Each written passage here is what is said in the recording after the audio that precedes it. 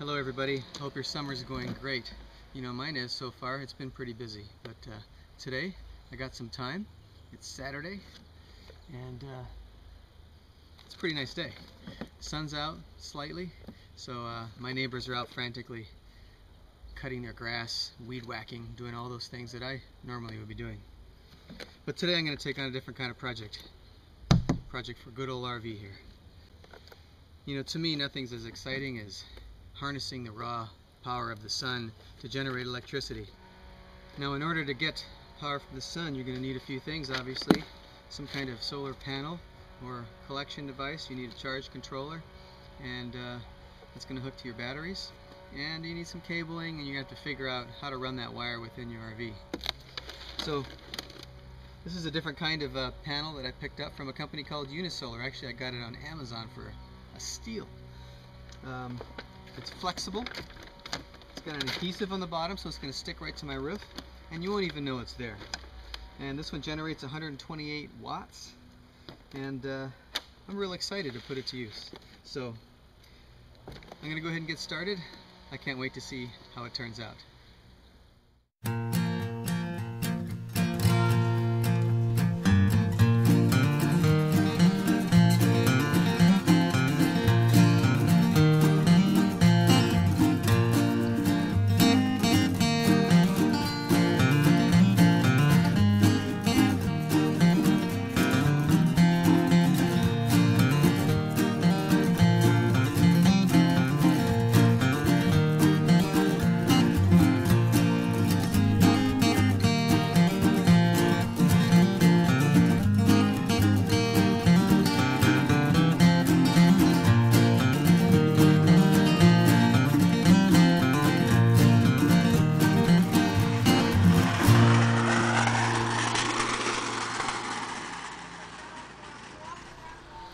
I'm up on the roof of the motorhome and I've gone ahead and uh, laid out the panel the way it's going to look on the roof. It's not stuck to the roof yet, but what I want to do is just test all the connections and make sure it's going to be charging okay like I expect.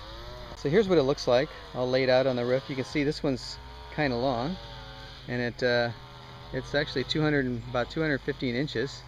Um, but yeah, the really cool thing about it is it's just really low profile and it's uh, you won't even notice actually looking at it from the from the road.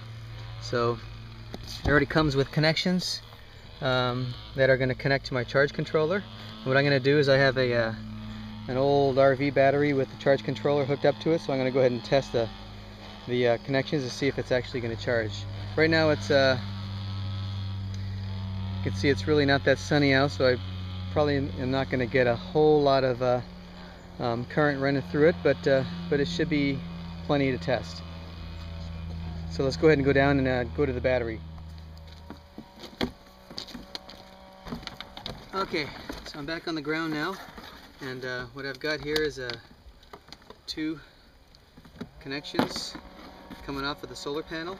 So what I can do, it's not connected to anything yet, but what I can do is just see what kind of voltage I'm getting out of the panel before I hook it up to the charge controller. Okay, so even with uh, some cloud cover,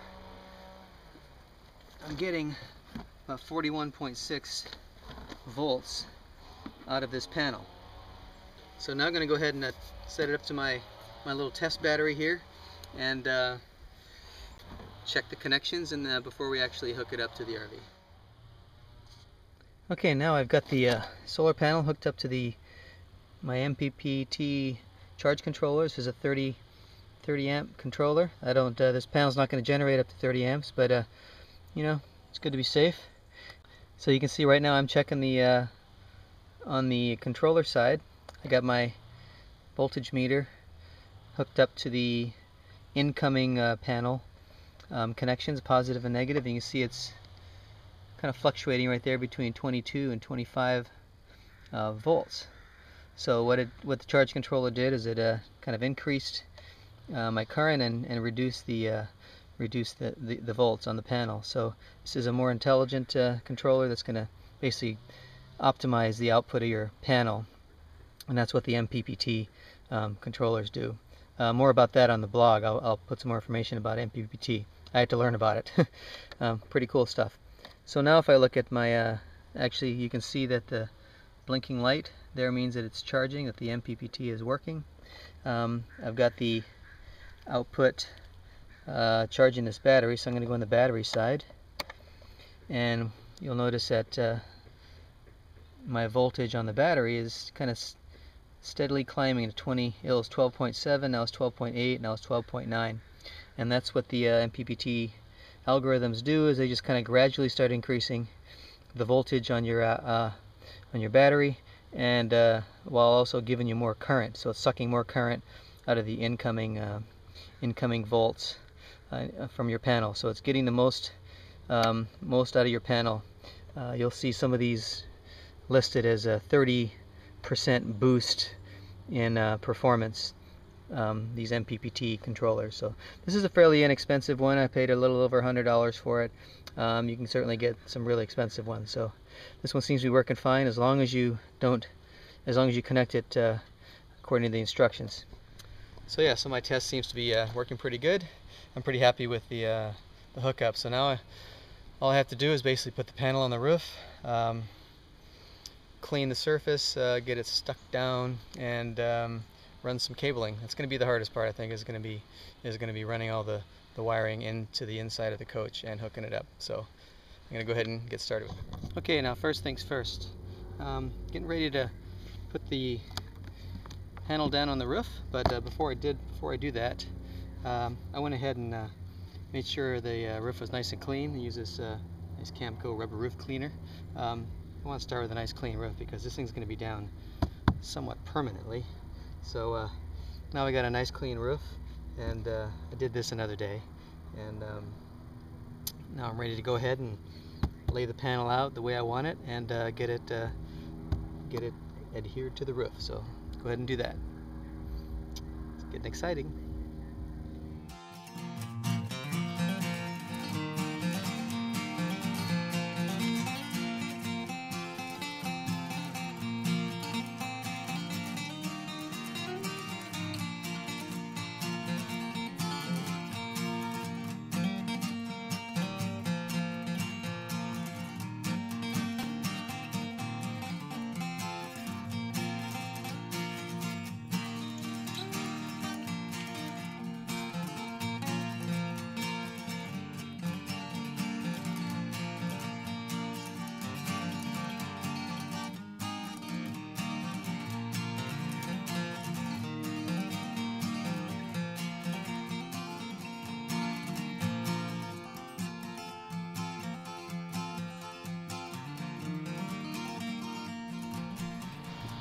Okay, so now this panel is on the roof and it's on there for good, so it's not moving.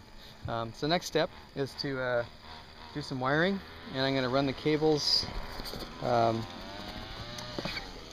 see it comes with a pre-wired cable, so I have some some uh, cables that you saw earlier and I'm going to go ahead and run those over to, already figured this out, run this over to this vent and uh, hopefully run it down.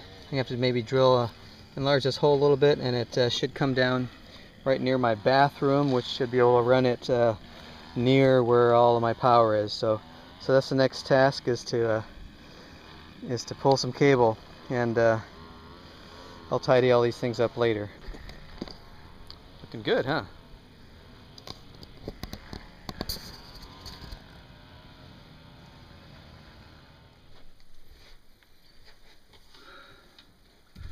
Okay, so uh, I've successfully run the cable from uh, from the solar panel down through the wall, through these little cracks and crevices uh, into the um, kind of the belly of the beast here. Uh, this is where all the power um, comes in, and my inverter is here. And uh, I know how I'm going to hook this up, so I've made this fuse thing right now. So I'm basically doing a bunch of wiring and um, I'm getting this getting this thing all wrapped up. I got my charge controller here. It's going to be mounted kind of out of the way. My wife thinks this is kind of ugly, so I don't really want to put it in a place that's um, not going to be readily seen. So here's a picture of the crime scene. Um, so all the uh, electronics, most of the electronics in my rig anyway, are uh, are located under my bed in the uh, in the bedroom area. So here's my inverter. There's the um, automatic transfer switch. Okay, I'm going to be hooking up the uh, charge controller to my battery through this connections through these connections down here. And uh, so yeah, so I got kind of a lot of stuff laying around. Uh, doing a lot of wiring right now and uh, looks kind of like a mess. So if this kind of scares you, then uh, this project is probably not for you. You kind of have to know a little bit about how your rig is wired and uh, especially where the power comes from. Anyway, I'm going to continue on. I'm going to get all this wiring done and uh, should be able to uh, wrap this up pretty soon and at least get to uh, where I'm charging. Right now I have all the power shut off, batteries are disconnected, um, all the shore power is disconnected. So, gotta be safe, right? And um, we'll see how it turns out. Um, so we'll uh, check back when I'm done.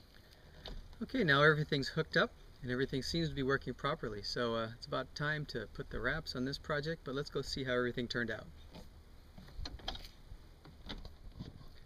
So let's take a look at the uh, charge controller. As I mentioned earlier, I wanted to mount it somewhere out of the way because it, uh, my wife thinks it's kind of an eyesore. Uh, didn't want to spend hundreds and hundreds of dollars for a really nice flush mounted one. So this one will do. Works just fine.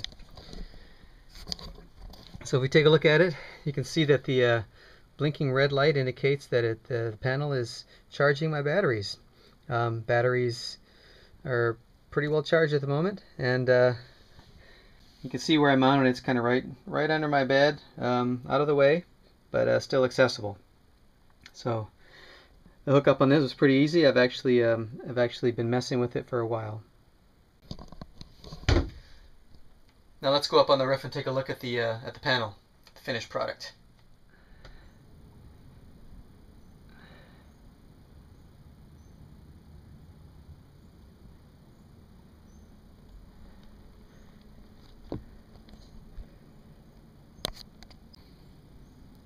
See now when it's sunny out I get real excited knowing that my battery is being charged and the solar panel is just getting that free energy from the sun. Let's take a look at the panel. So I uh, you know showed you earlier I got it all mounted and stuck to the roof. So a few finishing touches here I uh, painted the cable uh, painted it white so it kind of blends in. I ran it down into that vent put a few uh, clamps on it so it's secured nicely to the roof and then I finished up with some some of that self-leveling uh, rubber roof sealant around the edges just to give it a nice finished look and I also put a couple clips here and there just to ensure that it stays securely fastened to the roof I love how this panel is flush mounted to the roof so from the ground you won't even know it's up here I don't have some eyesore or you know uh, issue with wind or uh, something rattling around on my roof.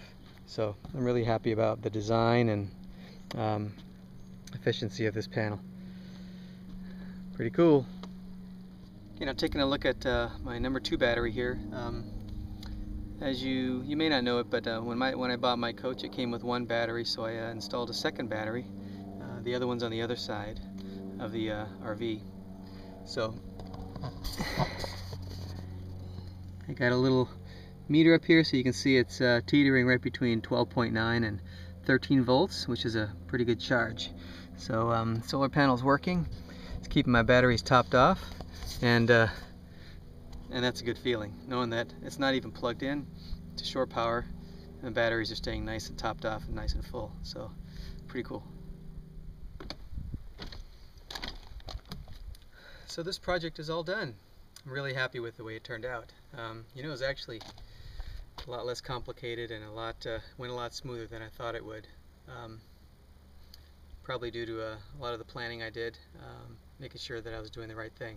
So now I can't wait to get out and do some uh, do some boondocking and some camping in the sun, knowing that I uh, won't have to run my generator as much to keep my batteries charged up.